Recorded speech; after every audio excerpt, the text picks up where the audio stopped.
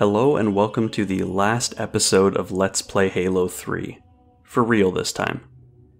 This video is going to be a roundup of some bonus content. Uh, just stuff like secrets, Easter eggs, uh, just anything I didn't get a chance to show off anywhere else in the LP. We're going to get started right at the beginning of the game uh, with some classic Sergeant Johnson alternate voice lines. Uh, during the LP, we saw what happens on normal, uh, but it turns out there's a different line on heroic, and then six of them on legendary. We must go. The brutes have our scent. Then they must love the smell of hero.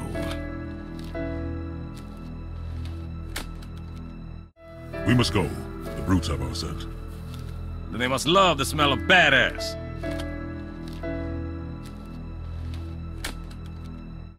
We must go. The brutes have our scent. Then they must love the smell of badass. And I left a little present for you, Arbiter, and I'm walking away. Ha ha ha! We must go. The brutes have our scent. They must love the scent of a real man.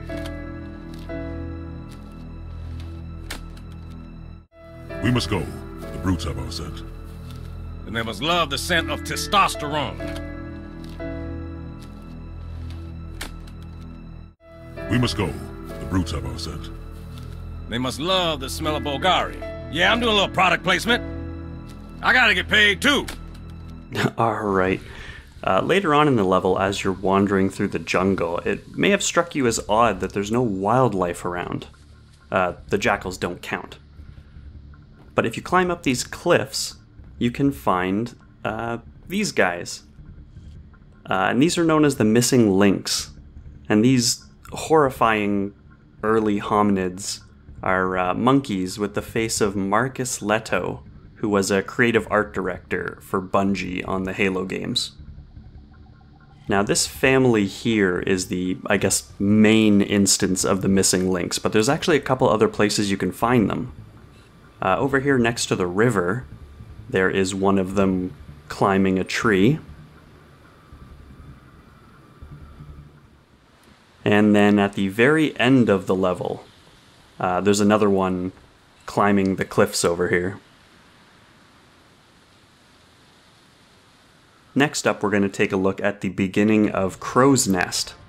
Uh, there's all these computers, and you'd think at some point something interesting would be shown on them. Oh, wait, did you see that? Let's uh, let's take another look. It turns out that for half a second every two or three minutes, Cortana will actually show up on some of the computer screens in this level, which is very, very interesting, actually. Uh, next up, we have some more secret dialogue. Um, this one's later on in Crow's Nest. Uh, and this was actually done by some of the original Red versus Blue guys. There are three different conversations. Uh, so we're going to show normal, and then heroic, and then legendary. Hey, open up! Password, please! You gotta be kidding me! What password? The password so we don't open the door for brutes. Do I sound like a brute to you? Well, you could be held prisoner by brutes. If I was held prisoner by brutes and knew the password, then the brutes could just force me to tell you the password and you'd open the door for them. Okay, well now I'm definitely not gonna open the door. Oh, we need ammo! Well, why don't you go ask your brute buddies then?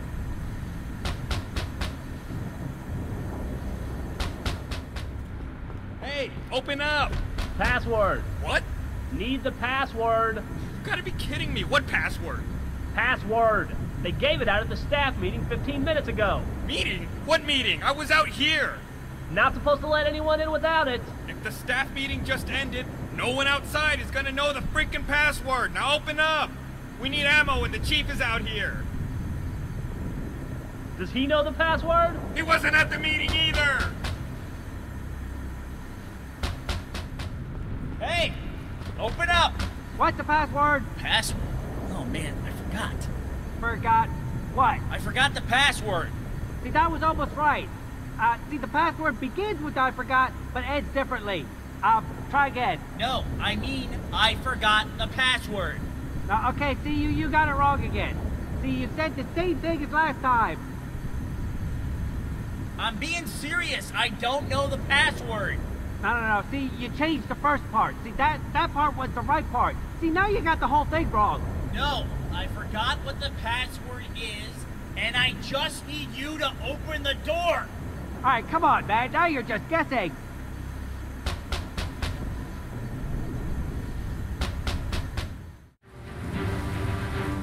On the Earth levels of Halo 3, there's all sorts of debris all over the place, but on the level The Storm, there's a very interesting one you can find.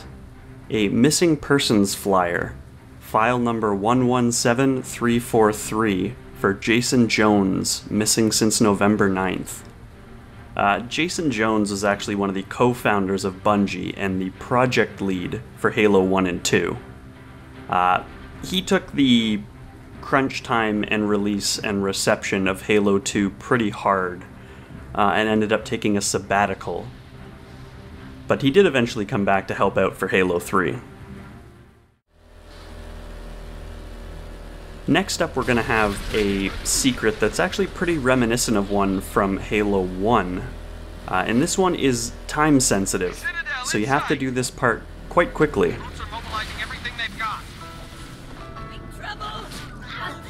It also requires you to steal a ghost.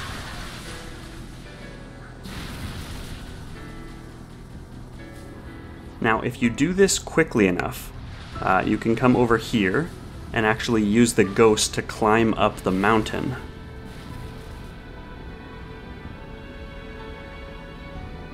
And up here, we're gonna find a marine. A hidden marine who just kind of stands up here and doesn't do anything else. Uh, you do have to be quick. Eventually, he despawns, uh, but only if you don't see him. Uh, if you come up here and engage with him, he will stay forever. I have to imagine he's here for a similar reason as the guy from uh, 343 Guilty Spark, the swamp level of Halo 1.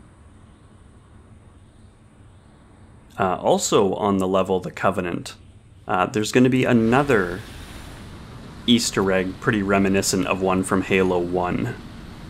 Uh, we actually talked about it in the last level. Uh, this is the hidden music cue for the Siege of Madrigal. There was a an instance of the hidden music cue in Halo 1 if you climbed up the pyramid, the control room, although I didn't show that specific one off. Uh, in Halo 3, it's up here.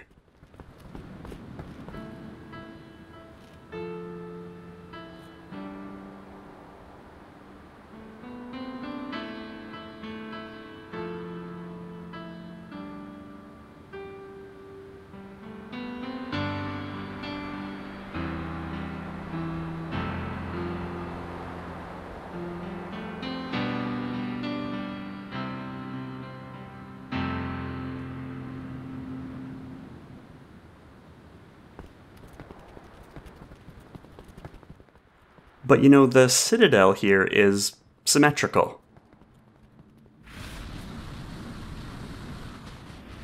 So it turns out there is another secret if you go to the other side of the citadel.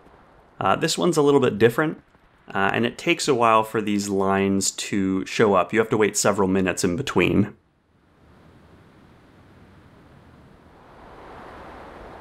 I am a monument to all Marty's sins. LOLOLOLO. Happy Easter, Marty. JNC Paul, are so totally fired. OMG, this game needs more guitar wank. Am I right?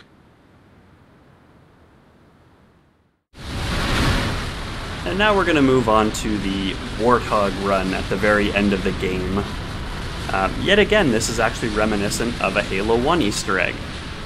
Right before you get to the ship, if you come over here, there is a grunt who the Arbiter is going to immediately kill. Uh, let's try that again.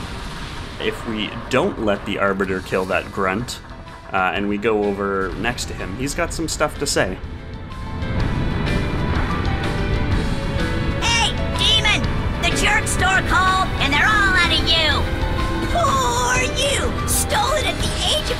And conscripted into the military! Okay, look, you let me live. I got the fist of front. I'll be the bottom. I'll polish your boots. I'll polish your helmet. It's the gas. when I'm on the gas, I don't know what I'm doing the.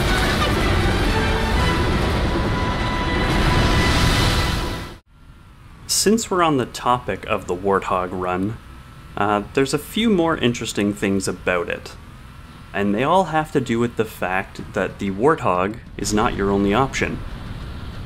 Right at the very beginning of the vehicle section, if you go to the left instead of the right, uh, you can find a mongoose. And it is entirely possible to do the whole thing in the mongoose instead of the Warthog. Of course, the best thing about using the mongoose is that you can get the Arbiter to ride on the back of it.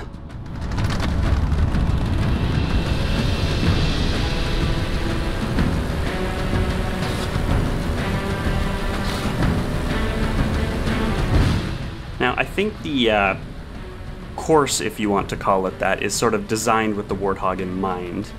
The Mongoose can definitely do it, but it's a little tricky. Uh, there are some handling issues with the Mongoose.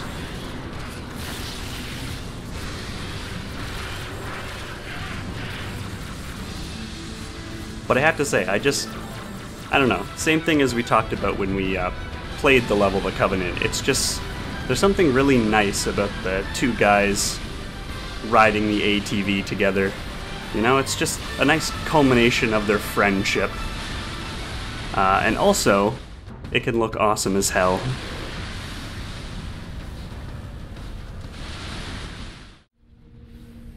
Now, the Mongoose isn't the only other vehicle option. Uh, if you play the level on co op on Legendary difficulty, and you come down here after Sergeant Johnson dies, you can find four ghosts and sometimes one swordfish.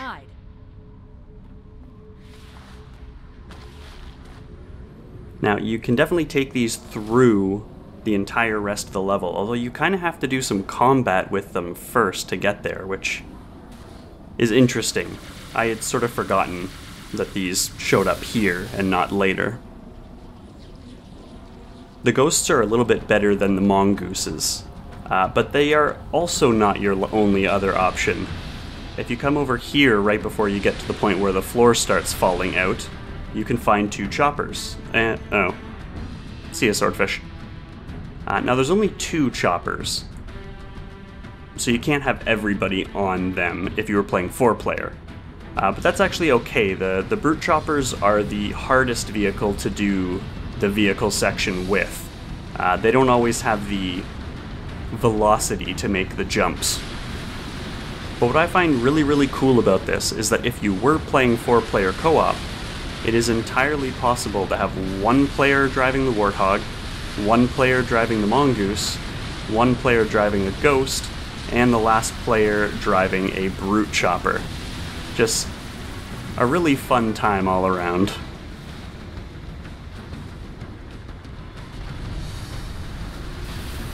And since I've got Swordfish here for co op, uh, I did want to just show off the way some cutscenes change if you're playing in co op. Most of the examples, they're relatively small changes, uh, just the Arbiter hanging out in the background. But there's one really, really good example of an entire cutscene being, well, the same, but also different. And uh, anyway, I'm gonna just let this play, and that'll be the end of it. So thanks a lot for watching. See you guys next time.